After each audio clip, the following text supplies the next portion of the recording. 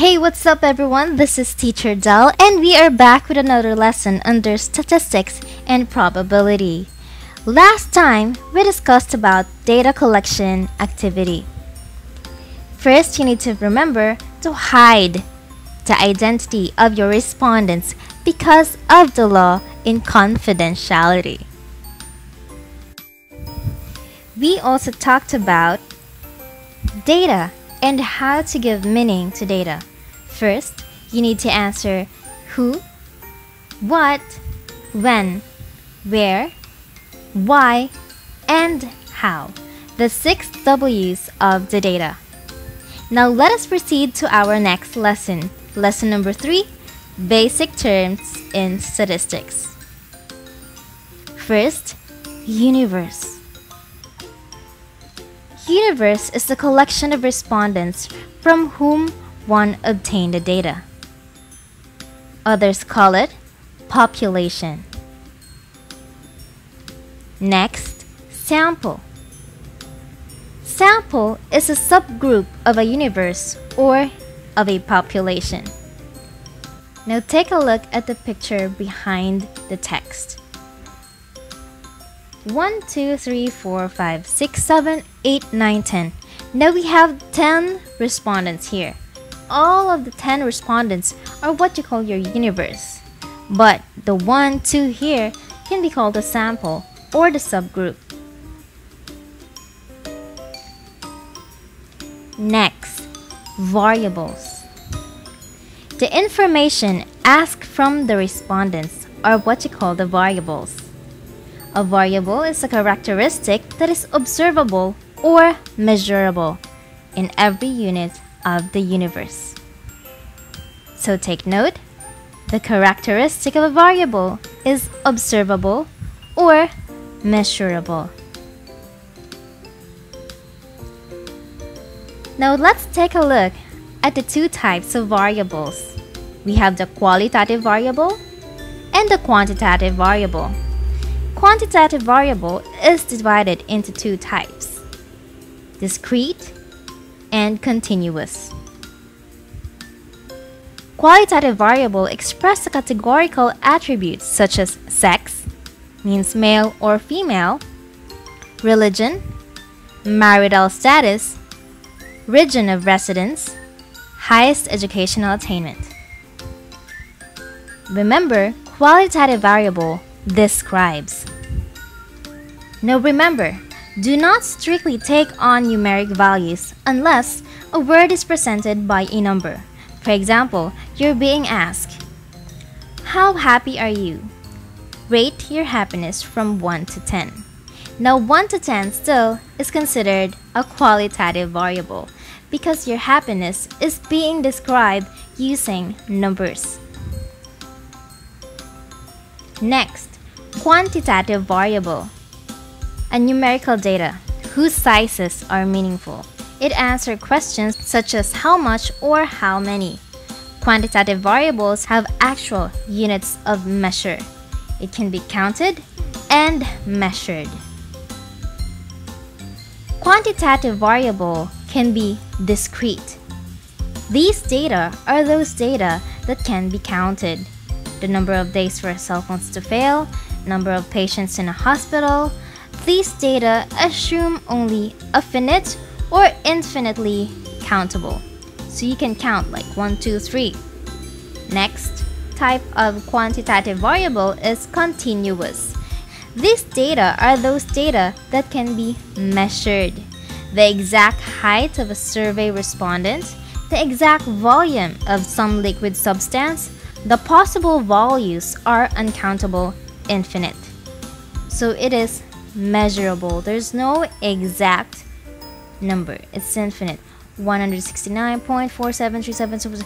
So as you can see here, we have here an infinite number. Sometimes when we measure our height, we would say that we are 150 centimeters, like 5 feet, right? But if you try to zoom in in that number or data, it is infinite. There are still some point zero zero zero zero zero zero zero something in that data. So that is measured or continuous. We have here some variables and I would like you to identify what is the type of variable.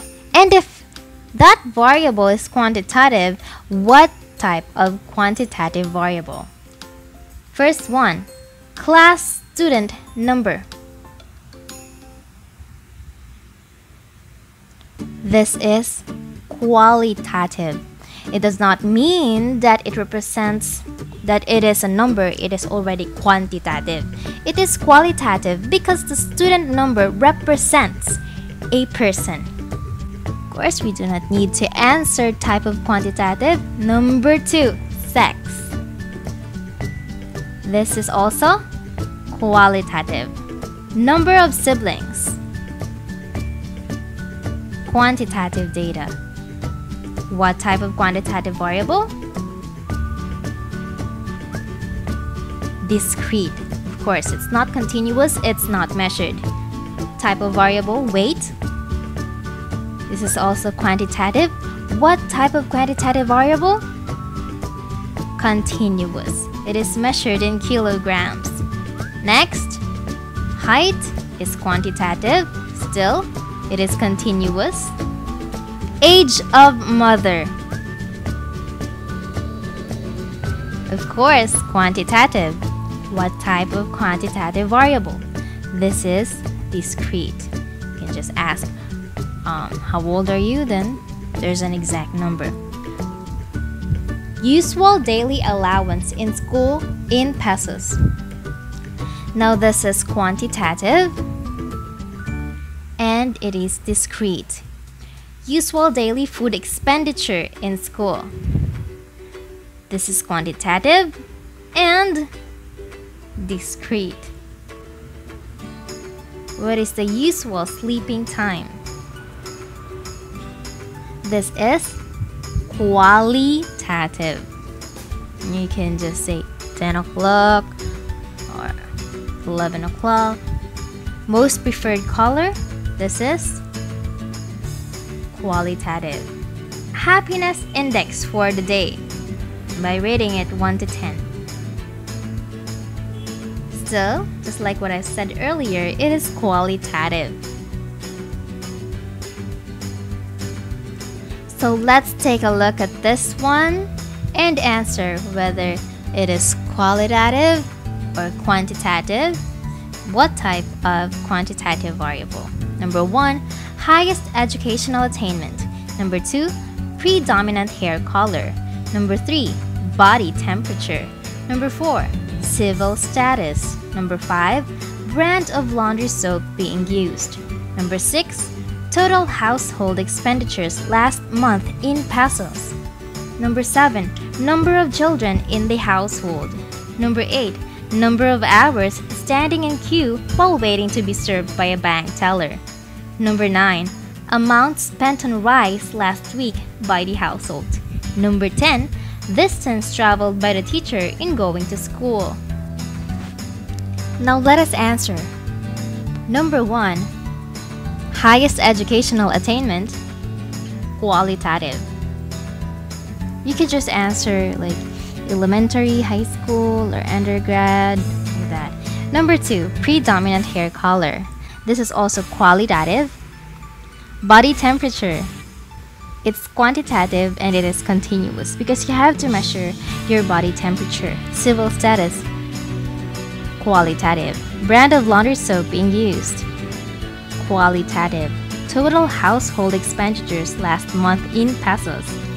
This is quantitative and discrete. Number of children. Quantitative.